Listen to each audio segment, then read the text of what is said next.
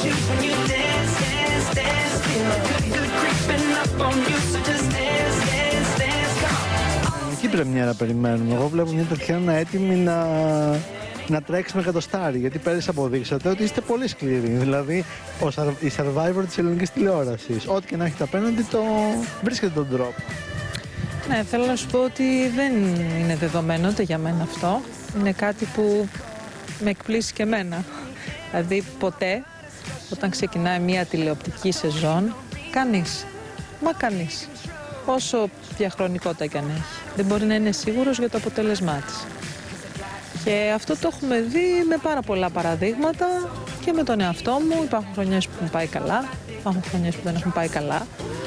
Υπάρχουν χρονιές αλλαγών, υπάρχουν χρονιές ηρεμίας.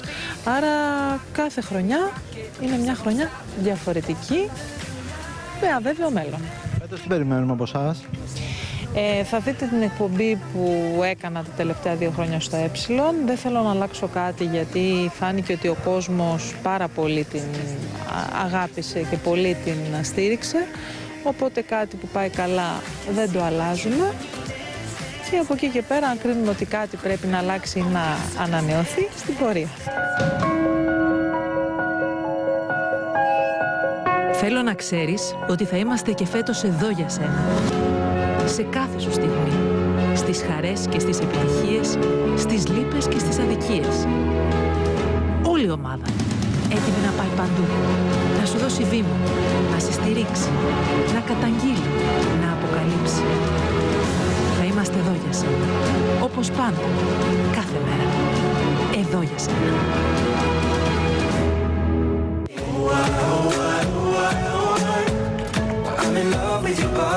Body. Σήμερα κατάλαβα πώς είναι οι άνθρωποι που ηγούνται μιας εκπομπής, που είναι αυτό που λέμε γεννημένοι αρχηγοί.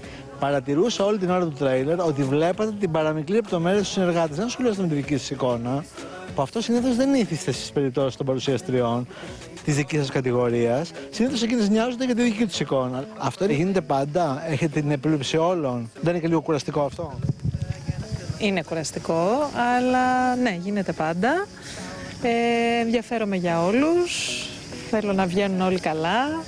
Ε, βεβαίως γίνεται στο ε πάρα πολύ καλή δουλειά από το ενδυματολογικό. Δηλαδή κάθε φορά όταν μπαίνουν τα παιδιά στο στούντιο ε, για να πούν τα θέματά τους, τα καμαρώνω και με εκπλήσουν. Δηλαδή παρόλο που είμαστε πολλοί στο ε και είναι μικρό το τμήμα, τα παιδιά είναι εξαιρετικά.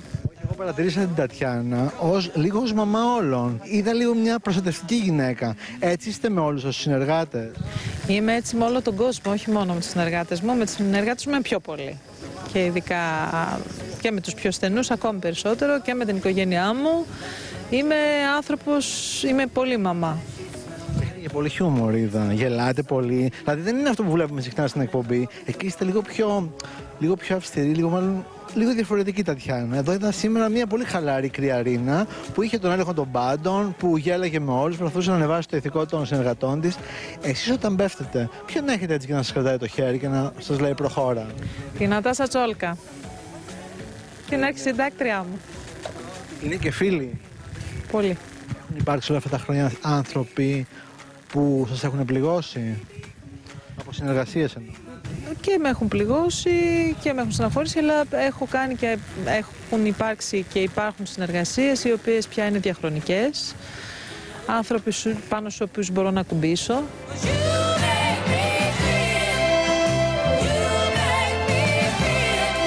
Είναι ένα πρόσωπο που ο κόσμος δείχνει ότι η Τατιάνα την αγοράζει στα περιοδικά. Δεν δίνεται συχνά συνεντεύξεις, αλλά προστατεύεται πολύ την